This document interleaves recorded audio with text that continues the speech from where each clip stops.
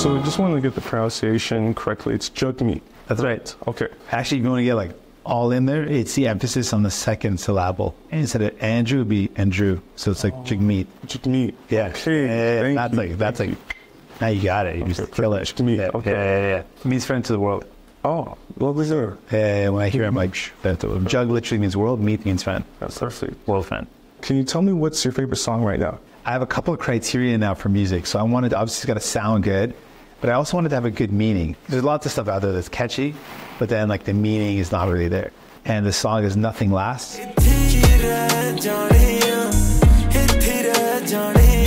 And the song is about this idea the material things are not really of substance. And it's very vibey, like the sound of it is very catchy, but it the chorus sticks with you, and the chorus is like nothing lasts, basically.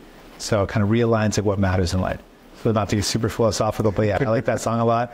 I've been listening to Beyonce's Cowboy Carter. Uh, I'm really vibing with that because I think the story behind it's really cool that she really explored the African American experience with Western music and really looked at that genre and the influence of African American singers and uh, other Canadian artists. I'm, I'm, I'm into right now is Dominique Fils-Aimé.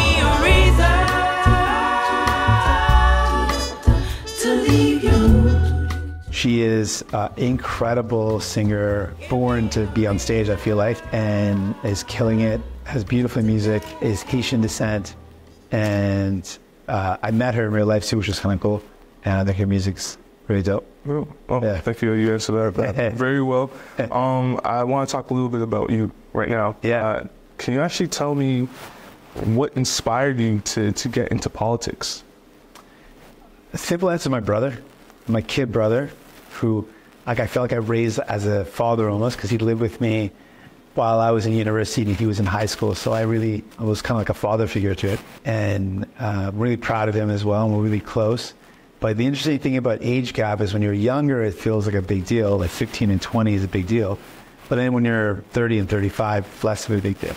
So as we got older, that gap diminished, and in a lot of ways, he kind of guided me into this world and encouraged me and really pushed me. In some ways, guilt tripped me to get into politics. Um, but so he's a person, and then I would say my mom and my dad both instilled in me these ideas about like social responsibility, taking care of the people around you, like civic responsibility, and this philosophy that we're all one, which really informs what I do. I totally understand that my brother is 16 years older than me, so I totally understand from the younger brother perspective what it's like to Yeah. to have that brother who's who's part raising you for Yeah, a little bit. yeah, yeah. Well, that's way even more intense. Yeah. 16 years. Yeah, there's the big difference. Yeah, Yeah, yeah. In my case, it's like five years, but Yeah. 16 is legit. Like, Yeah. could almost be be your. Oh yeah, very close.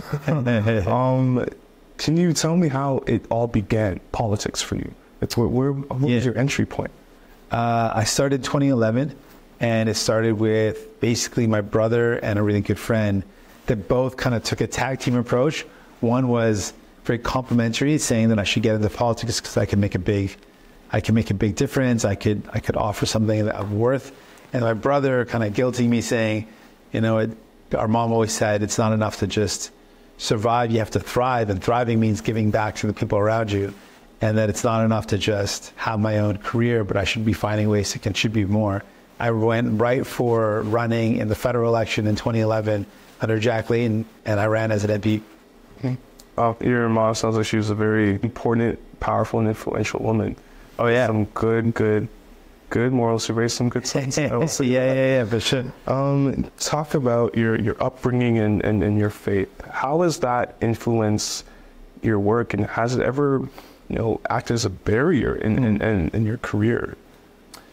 Uh, I wouldn't say a barrier. It's certainly a big part of who I am. And the thing is, I, I always I frame it through my mom because my mom taught me really or introduced me to spirituality. And the fundamental belief that she taught me was this idea that we're all one. And the idea of, of us being one is spiritually like one of my guiding principles. It is politically one of my foundational beliefs. It really is something that captures the work that I try to do. And and to give you an idea of what that means, like to, that we're all one. So my mom would literally say, if we were volunteering somewhere, doing some work for the community, And if someone was was struggling or not doing so well, she would teach me that that person was me. That was actually me, or that was her. And that caring for that person was like caring for myself or caring for my mom. And really believing that that that the people around us are not just connected to us, but we are those people. And that really creates a different way to look at the world. Like if you truly believe that we are one, then you really are motivated to resist injustice that's happening to someone around you because that's happening to you. To really feel that internal, to internalize that injustice and say, like it's not just someone else out there that's struggling. I'm also struggling. And so that was a really big part of what she taught me, and that is a very foundational part of the Sikh spirituality. It's like the first word written in the guiding spiritual text, which which lays out this idea. The first phrase is the idea that we're all one, and it is repeated again and again throughout. So it is something really guiding for me, and it really helps deal with even if someone disagrees with me. I still believe that we're one, so I have to support them and I have to find a way to to to make sure they feel included, even if they have a different belief. I mean, I could talk to you forever about this. It sounds very, very wholesome, very inspiring. Um, but I, I want to just pivot quickly to the Bell lecture that you have Sure. upcoming for, for FPA. Yeah. Um, I want to hear what's your elevator pitch, right? Why should people come to listen to you, uh, to listen to you speak at the Bell lecture? Well, it's really so. I'm going to tap into this concept of Chardi Kala, the idea of rising spirits. So, if you've ever felt a bit down and out and felt like a little hopeless, like things are getting worse and worse, and you needed a little bit of hope, Chardi Kala literally is not just hopefulness; it's almost defiant optimism. It's like in the face of hopeless odds, where you should feel like there's no way forward, you tap into an optimism that that laughs at almost the impossibility of trying to make things better.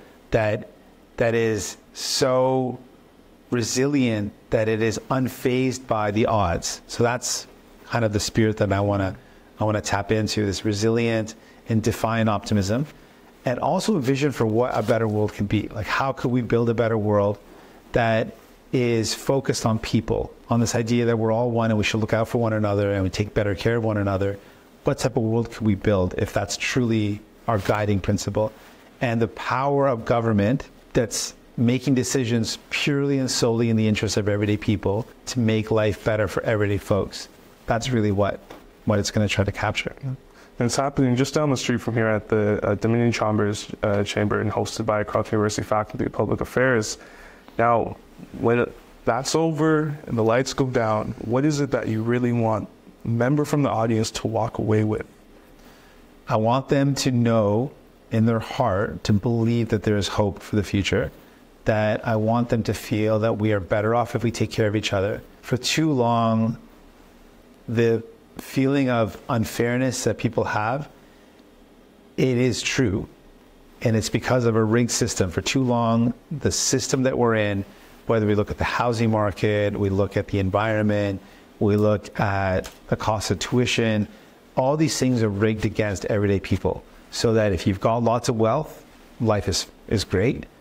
But if you are everyday working class, low income, struggling, just even a regular person who's got parents got a decent job but are just trying to get by, it always feels like the deck is stacked against you. I want folks to know that that is true, to understand that I see you and I hear you. It is true, but that we can change that. That we have the power to change that. I want people to walk away with the hope that yeah, there is an incredible vision of how we can make things better. I could afford a home. I could have a good job that pays me enough to live a good life.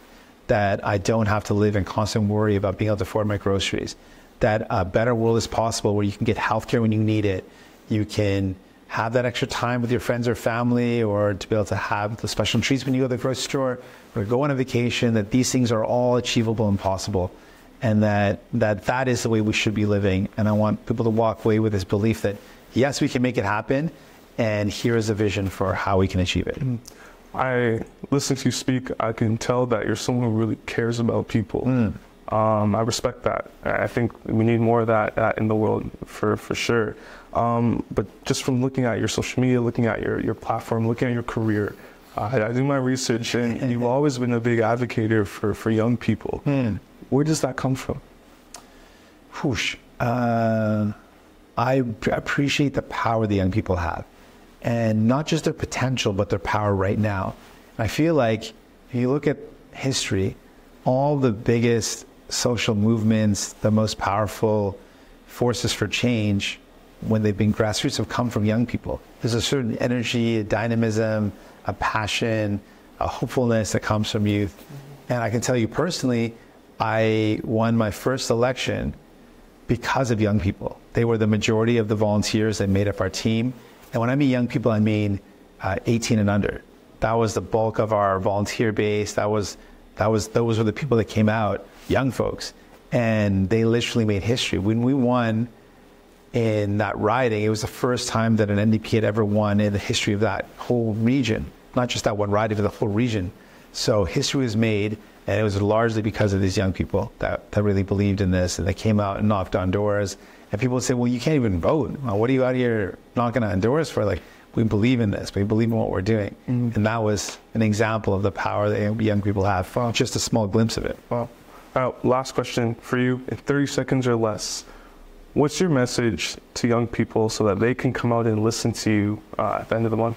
I would say I know that things are looking a little bleak. Sometimes when you're young, you look at it and saying, well, I'm not going to be able to afford a home. I don't see how I can get a good job. I don't see how the future is any brighter. In fact, it looks a little dimmer than it did for my parents. And really, that's the first time in a long time that the next generation feels like the future is less bright.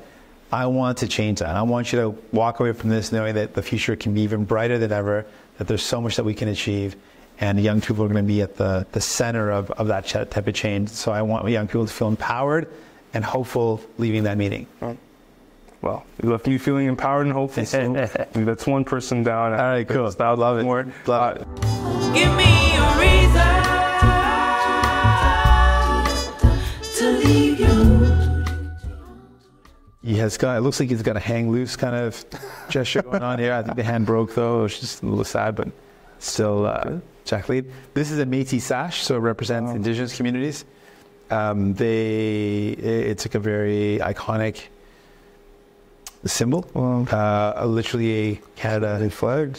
I guess yeah, wooden version of Canadian flag. Uh, painting of hockey. yeah. It's hard to get more Canadian. kid, kid, one kid asking another kid to join in the in the play. Uh, I got a flag of BC, and yeah, this is Canada. So you're home, uh, home riding? Home riding, yeah, representing. I got uh, moccasins made by Indigenous Community First Nations. I'm going to ask about your daughter's hand. Uh, this is her hand and my hand on a photocopy machine. We just photocopied it, but it looks super. I felt like it looked super artistic and cute. She would come through the office regularly uh, when she was really young. I'd bring her here all the time. And now she's older, so she goes to daycare. Daycare, But, yeah, yeah, yeah. So far, Wow. a lot. Uh, there's a paddle yeah. made by a Canadian paddle maker. So very canoes and paddling, very Canadian. So Very it'll be. it's my homage to Canada.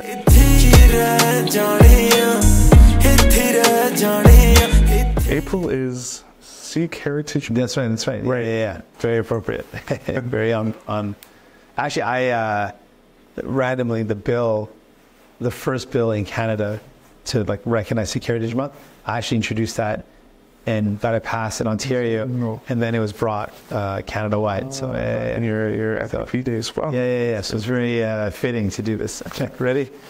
I want to wish everybody for the month of April a very happy Sikh Heritage Month. I hope you get a chance to experience or learn something about the Sikh culture and the Sikh community.